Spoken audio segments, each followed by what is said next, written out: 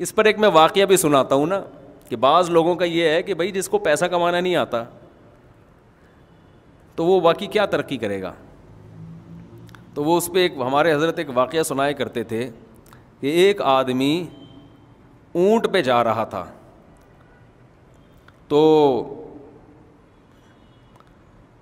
अच्छा ऊँट पे उसने क्या किया था? बेवकूफ़ आदमी था।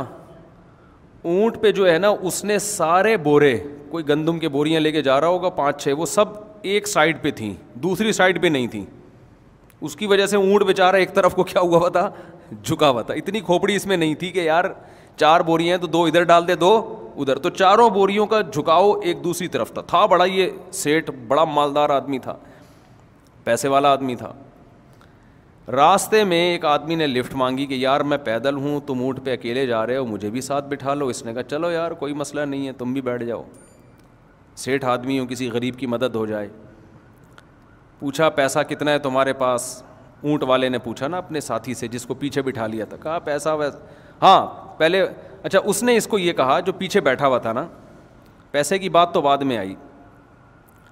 ये कहा कि, यार, ये जो तुमने ऊँट के चारों बोरे एक तरफ़ रखे हुए हैं तो अगर ऐसा कर लो कि दो इधर कर दो दो इधर कर दो, इससे ऊँट की स्पीड क्या हो जाएगी?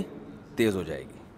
और ये जो एक तरफ़ बेचारा झुका हुआ है ना, ये टेंशन से बच जाएगा। तो ये जो सेठ था ना, इसने इसकी तरफ़ देखा, यार, ये तो बड़ा जहीन आदमी मालूम होता है, बड़ी ट्रिक बताई है इसने, बैलेंस हो जाएगा। उसने कहा, चलो ट्राई करके देखते हैं। उसने क्या किया, दो बोरे उठा के इस तरफ़ कर दिए, वाकई ऊँट रिलैक्स हो गया और स्पीड उसकी बढ़ गई। तो बड़ा जहीन आदमी है यार। इसका ख्याल था कि ये इतना जहीन आदमी है, ये तो करोड़पति होगा, जब मेरे जैसा बेवकूफ़ इतने पैसे वाला है तो ये जो जहीन है, ये तो करोड़पति होगा। अब उससे इंटरव्यू लेना शुरू किया, यार, तुम्हारे पास दौलत कितनी है? उसने कहा, कुछ भी नहीं है। क्यों भाई? सियारी सदका कर दी? नहीं भाई, मेरे पास तो कोई रोज़गार नहीं है। जिस बिज़नेस में हाथ डालता हूँ, पैसा नहीं आता।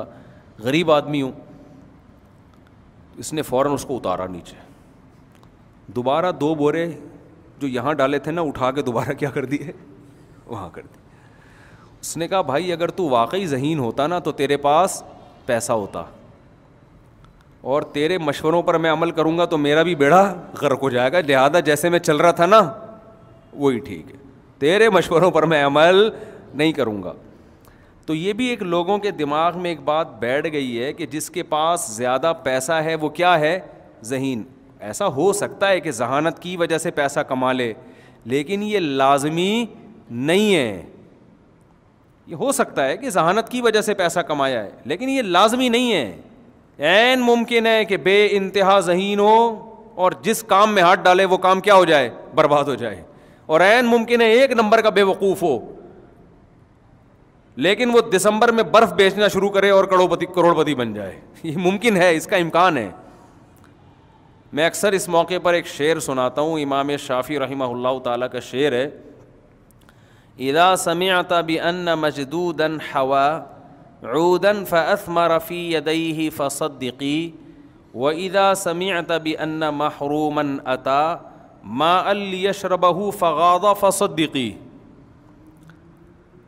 फरमाते हैं कि अगर तू कभी सुने ना कि एक आदमी ने कोई खुशकिस्मत था, वो जिस काम में हाथ डालता है, वहाँ नोट बरसना शुरू हो जाते हैं। तो ऐसा खुशकिस्मत ने एक दिन एक सादा लकड़ी हाथ में ली, ज़मीन में उगाया भी नहीं, खाद भी नहीं डाली, पानी भी नहीं दिया।